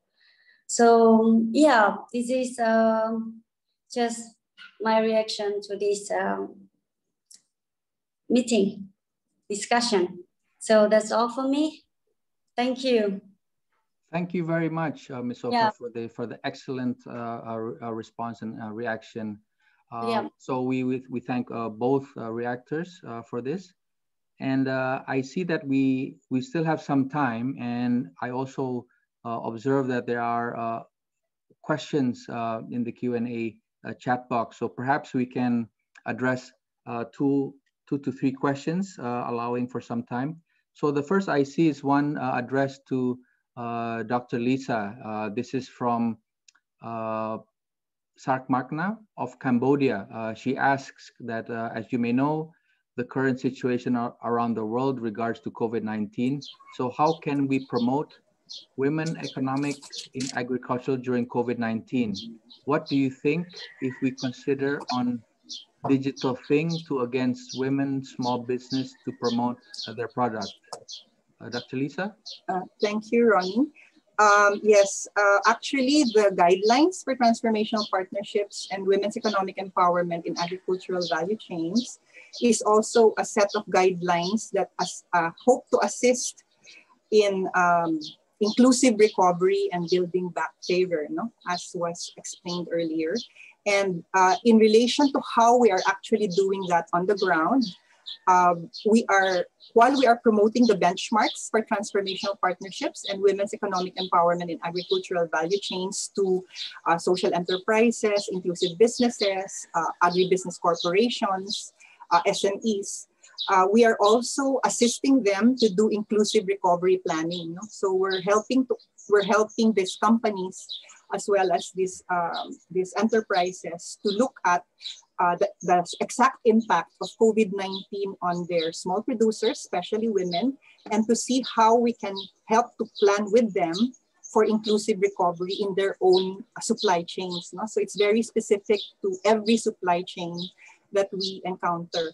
Uh, but of course, the reason why we are promoting um, the set of guidelines for transformational partnerships and women's economic empowerment in agricultural value chains is that we believe that we need to do, do this more systematically through uh, policies and programs that are themselves promoted by government. No? So that's the reason why the set of guidelines are urgent, as I said, uh, in the face of COVID-19 on the issue about um, digital digital marketing or digital technologies, uh, this is actually equitable access to digi digital technologies and e-commerce platforms is actually a part of the sub-guidelines um, for the uh, of the overall guidelines for transformational partnerships and women's economic empowerment in agricultural value chains. So we recognize that given the change, the drastically changed context of COVID-19 and the pandemic, that um, we need to assist women and men small scale producers to actually access um, digital technologies as well as e-commerce platforms, which they are not necessarily uh, access, are, which they're not, they're which is, um, of course, more accessible now to those that are in the urban areas, whereas many of the women and men small scale producers are actually in the rural areas and some of them are actually in remote areas that don't have access to digital technologies. So uh, maybe this is where, again, government can play a big role because I think if we talk about uh, digital infrastructure, uh, the infrastructure for access to digital technologies. It's not something that, um, you know, uh, just um, non-government organizations or even corporations can do by themselves, no? but it has to be in partnerships with government. Thank you. Uh, thank you, Dr. Lisa. So, uh, Sark Makna, I hope uh, that elaborate question uh, is answered. Uh, I, I also see that Erin has quickly responded to some of the questions. Uh, thank you very much, Erin.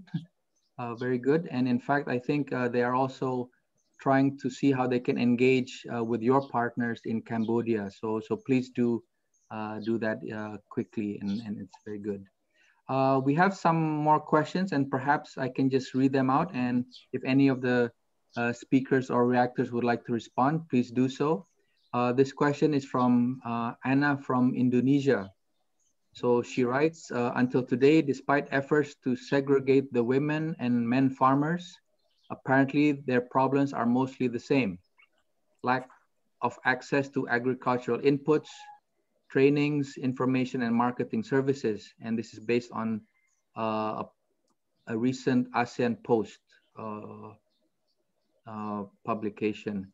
So nowadays, everywhere, sustainable for food system is a trending topic I wonder whether we can already identify what would be the role of women to support achieving this, especially in supplement to what men can do so as to avoid overlaps. Uh, is this possible, do you think?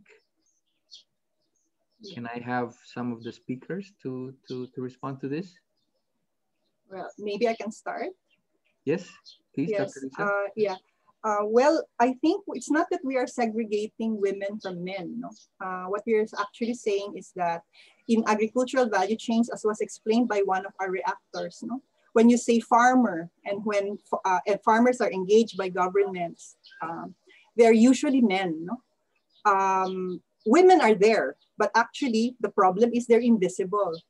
And uh, they're being invisible in agricultural value chains is one of the main issues that we're trying to address uh, by actually promoting the set of benchmarks for transformational partnerships and women's economic empowerment in agricultural value chains so that they can actually be assisted to be included uh, to have equal access know, to, uh, to the resources as well as to the trainings and to the and to all the other um, and all, to, to, all the other uh, capacity development uh, um, uh, programs that are available.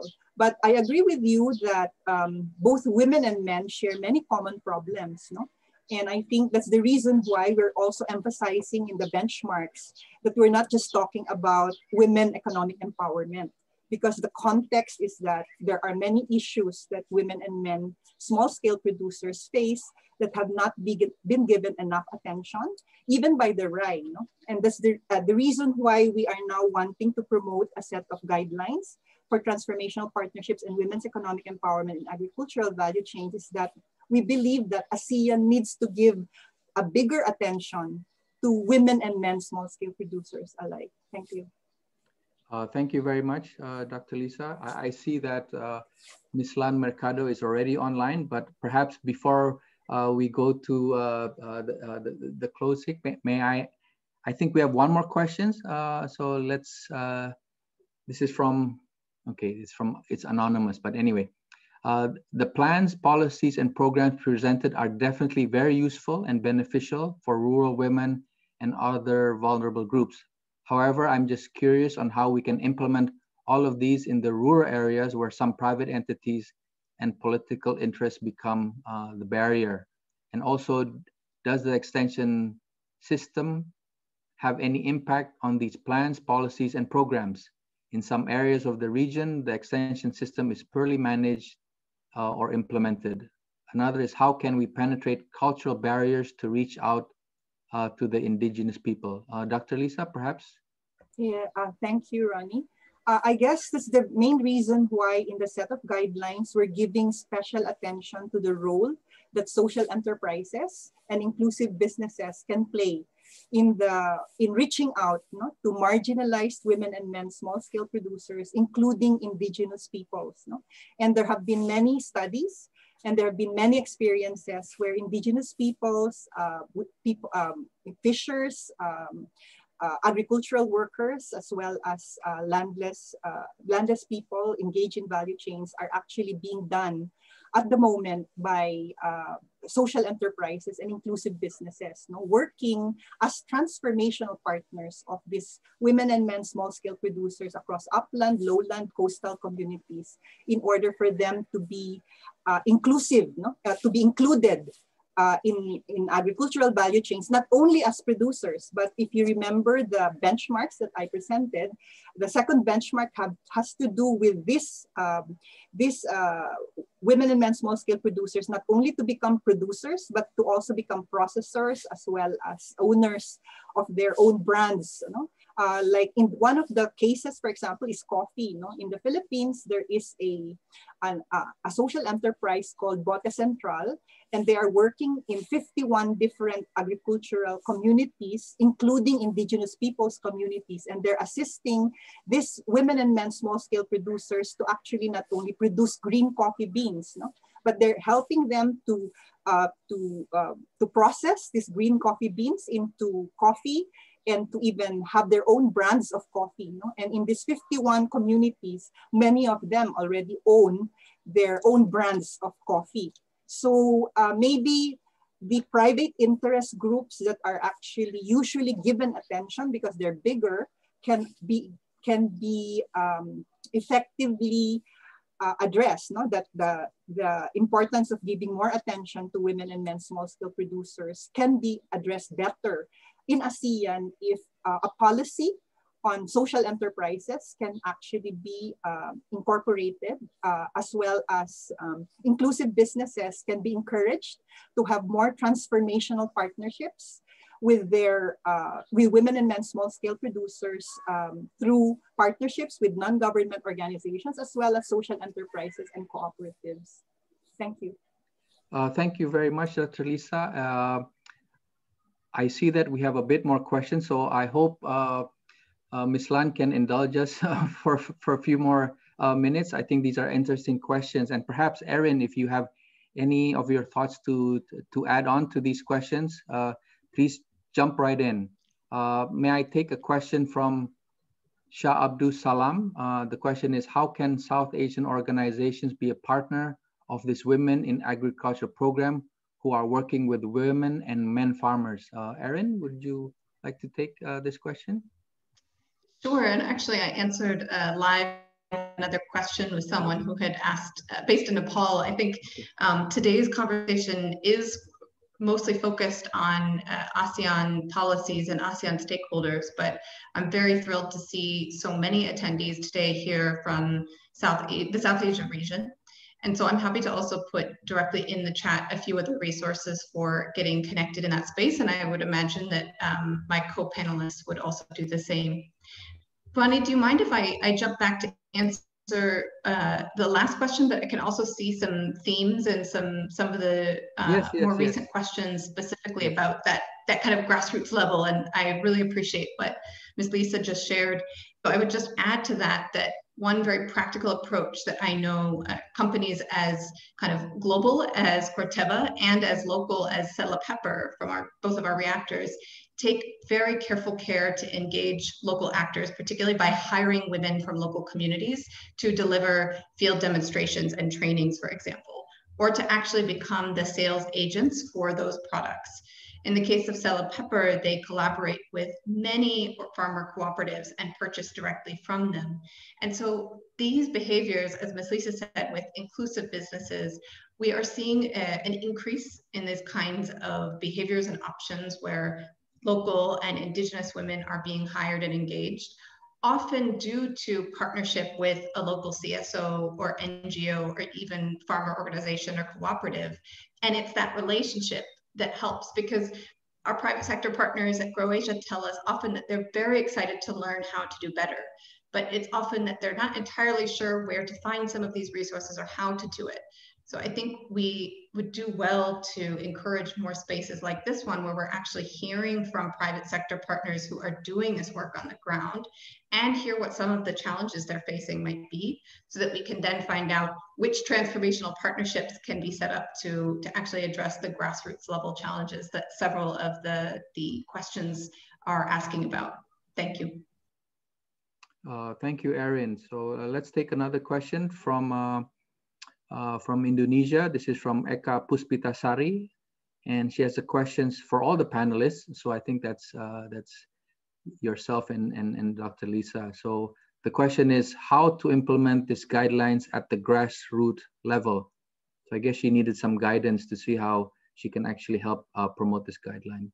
So Dr. Lisa, may I first start with you? Yes, uh, actually, if you are a practitioner, what is relevant is not the guidelines, but actually the benchmarks for transformational partnerships and women's economic empowerment in agricultural value chains. And actually the benchmarks, as I said, have been translated into scorecards. Uh, there's a scorecard for social enterprises and SMEs. There's also a scorecard for corporate agribusinesses. There's also a scorecard for agricultural value chain program holders, right?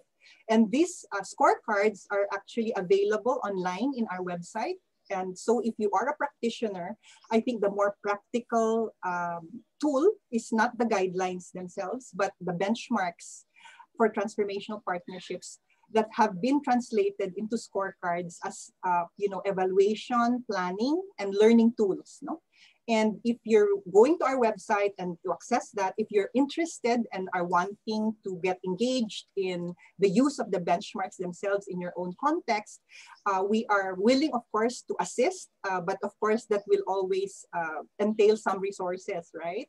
Um, at the moment, we have a partnership with Oxfam as well as uh, the Swedish Embassy in Bangkok in implementing uh, this uh, or in pilot testing as well as promoting these benchmarks.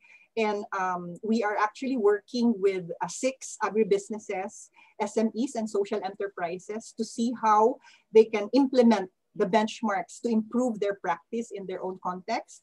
And in the coming year, we are looking for 20 more partners uh, so that if you are interested, um, if you are an agribusiness, an agricultural, uh, an agribusiness corporation, you're a social enterprise, you're an inclusive business, you're an SME that is willing to actually uh, look at how your practice can be improved with the use of these benchmarks as uh, scorecards, as tools, then uh, I think you can get in touch with us. I can, um, you can, um, you can be given our email, um, uh, and you know we can engage you. No? So that's the more practical side of it. So the, the the guidelines for transformational partnerships and women's economic empowerment in agricultural value chains, as we have explained, is more a set of uh, you know policy uh, tools for governments, uh, a set of policies a set of uh, program guidelines that can actually be incorporated in government uh, policy and programs, right?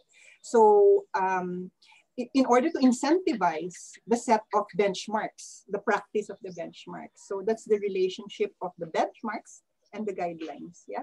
So back to you, Ron. Thank you, Dr. Lisa. So I think that is a direct invitation. So so please do take take uh, take this opportunity. Uh, let's go with one more uh, question before we uh, we proceed uh, with the closing. And um, we have one from. Uh, I think they have been quickly answered by by Erin. Very good. So so so we're reducing the number of questions. Uh,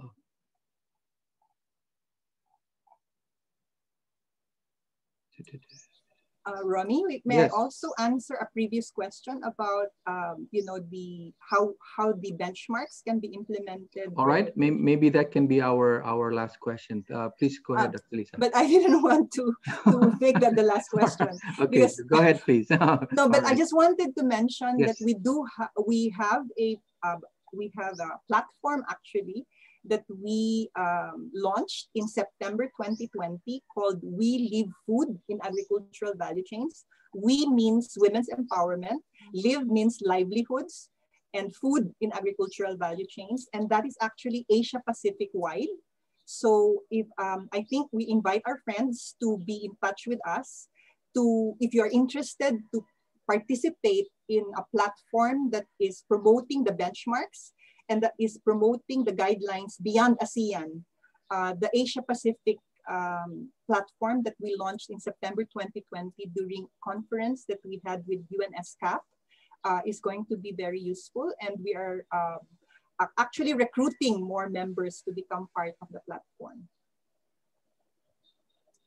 So Ronnie, Okay, uh, yes. Uh, so so let's. I think we have one from Franchet Dulfo. Uh, I think this is from the Philippines. Um, so she writes, uh, you know, 2020 data from Cooperative Development Authority shows that women comprise more than men in agricultural cooperative sector, even if agriculture is a gender-based industry.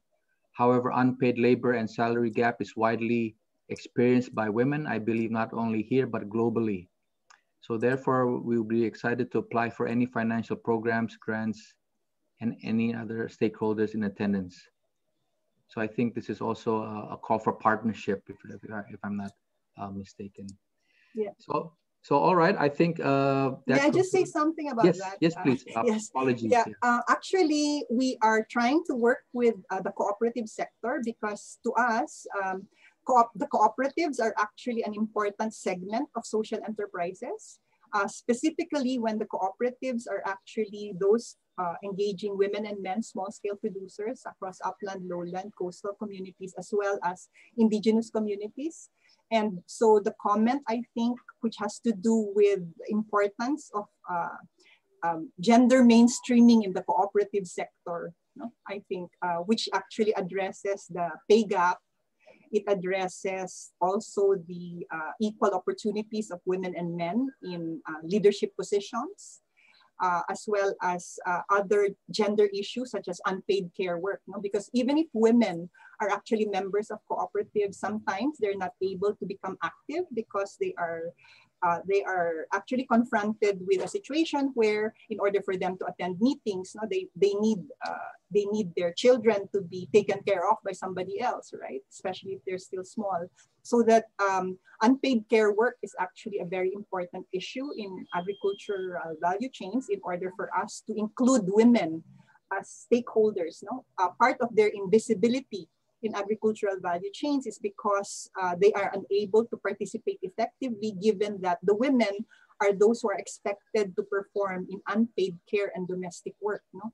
And um, th that's the reason why we, uh, we promote gender sensitivity, of course, so that women and men can share in household work.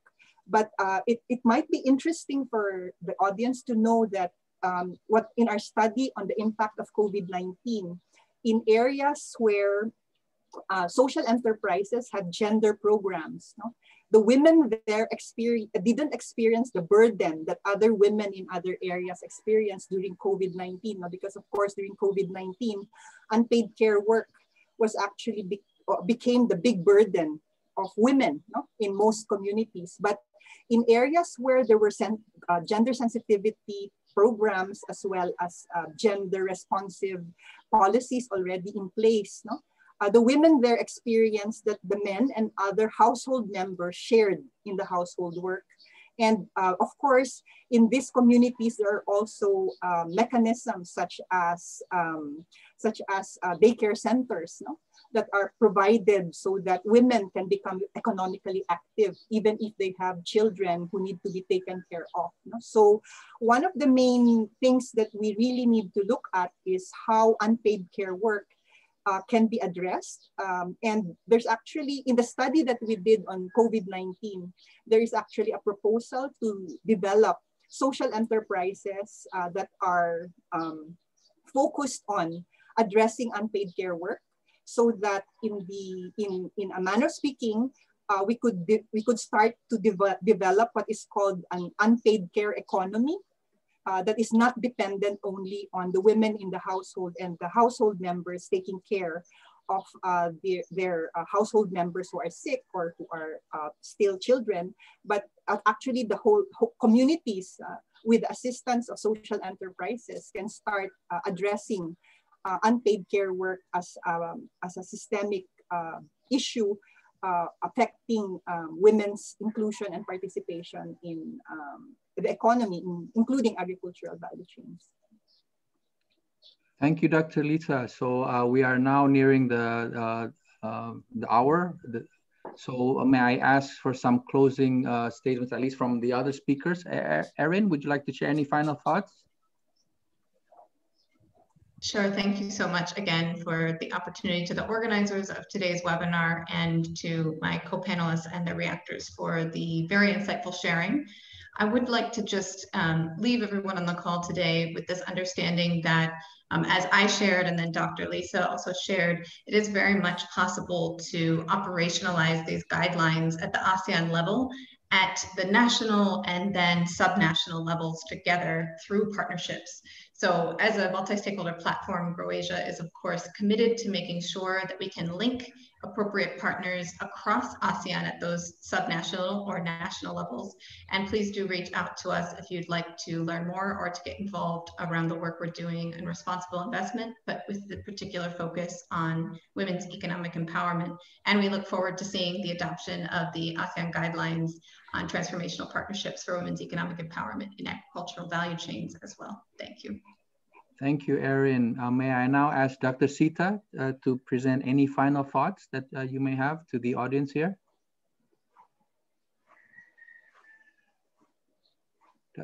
Dr. Sita?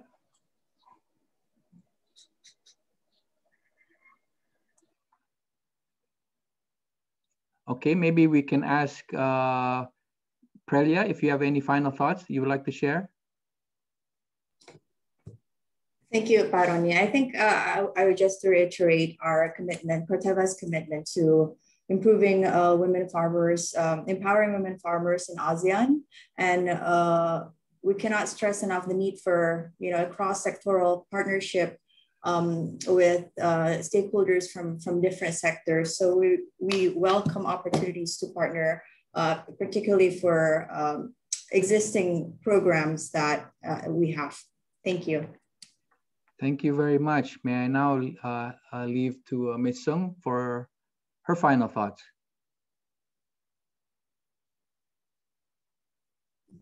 Hey, uh, you mean to, for me? because you uh, Yes. so far. Okay. Uh, yes, Sofa, sorry. Okay. No, no problem. Uh, yes. So is I would love uh, to give the final thought is that I, I would like to see more women to, to be involved with agriculture and um, get uh, more trainings and, and knowledge um, about agriculture and not to be afraid that agriculture is only for, for manpower. It's actually for women as well to get involved. Yeah, so this is for my thought. And I hope this guideline and benchmark is to really uh, push and uh, encourage more women to get involved with agriculture. Thank you. Very good, very good uh, on, uh, on, on that positive final note. So with that, may I now Miss, uh, invite Miss Lan Mercado for the, for, who is the Regional Director for Asia Oxfam. Madam, you have the floor, please. Thank you. Uh, thank you very much. Um, and uh, I, I, caught the uh, question and answer portion. Um, and even just by listening to the questions and the responses of the panelists, I already picked up quite a lot. So um, I'd, I'd like to thank and extend my warm greetings to all of the speakers as well as the reactors, uh, the members of the ASEAN Secretariat, who have joined us in the roundtable to Grow Asia, uh, the Institute for Social Entrepreneurship in Asia, UNESCAP Sub-Regional Office um, for South Asia, and the Embassy of Sweden. And, and thank you to all the participants in this roundtable discussion on empowering ASEAN women in agriculture. I noted that we have quite a big number of participants, uh, and so I think that's, that's really good. Um, pre-pandemic, uh, ASEAN's exponential economic growth transformed the region into the world's fifth largest economy. Um, and that's, of course, partly driven by the integration of women in the labor market. In fact, um, in 2015, the average female labor force participation rate in ASEAN countries was close to 67%. But we all know that this has not really translated into equal opportunities for women. And the 2017 data from UN Women and the World Bank indicated that in almost all ASEAN member states, women tend to be predominantly in, in precarious and undervalued jobs. The ILO also reports that 64% of women workers in the ASEAN are in informal employment and mainly in the agriculture sector. So today, um, as we see the pandemic rage across the world, including our region, Southeast Asia and the whole of Asia, we know that some countries are more affected than others uh, by this public health crisis.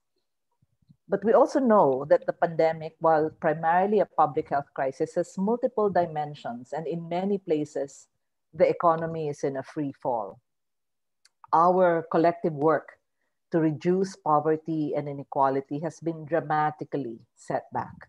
I don't have statistics on food insecurity specifically for Southeast Asia, but in the Asia Pacific region, 265 million people are going hungry in a region that depends on agriculture. Around 140 million have been pushed into extreme poverty. And this is just this January 2021 from the report of WFP, FAO, WHO, and UNICEF. So global institutions, including the World Bank and IMF, who are having their spring uh, meetings, and I attended the IDA meeting last night, they're all talking about strategies for a post-COVID-19 recovery. The pandemic has of course, highlighted and exacerbated inequalities, including gender inequality. We are seeing a global care crisis that remains significantly invisible in public policies, national budgets, and fairly absent from development finance more broadly. So any emergency support or recovery plan must be vehicles for addressing these inequalities and ensuring that we are on the path to an equal, gender fair, and climate just future.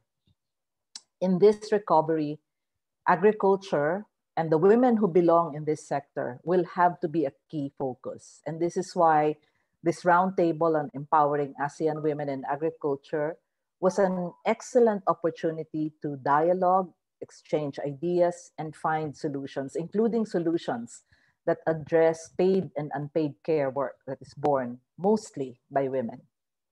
I think this is where the proposed guidelines on transformational partnerships and women's economic empowerment in, in agriculture value chains could, could really be important, um, especially as it had been developed through a series of consultations with various stakeholders in the ASEAN.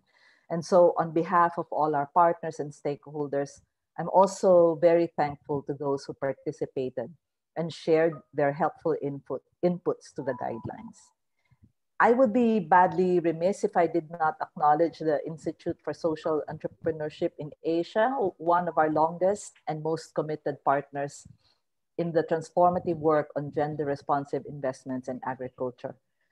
ISEA has been one of the main drivers of the process, and, and we are also grateful for the support and partnership with UNESCAP's sub-regional office in Southeast Asia, Grow Asia, the Embassy of Sweden in Bangkok, and the ASEAN Secretariat. The ASEAN guidelines on promoting responsible investments in food, agriculture, and forestry, um, especially with its aspiration of fostering equality, engagement, and empowerment for women, young people, indigenous people, and marginalized groups, is an important reference in the road to post-pandemic recovery. But the proposed guidelines for transformational partnerships and women's economic empowerment in agricultural value chains takes us further by addressing the specific needs of women small producers, particularly those engaged in agricultural production and in the informal economy of agricultural value chains, and contributes to ensuring that post-pandemic recovery is inclusive and sustainable. Thank you very much. Our work, of course, does not end with the roundtable. I hope that as we close the meeting, we are taking with us ideas that we can now start translating into action.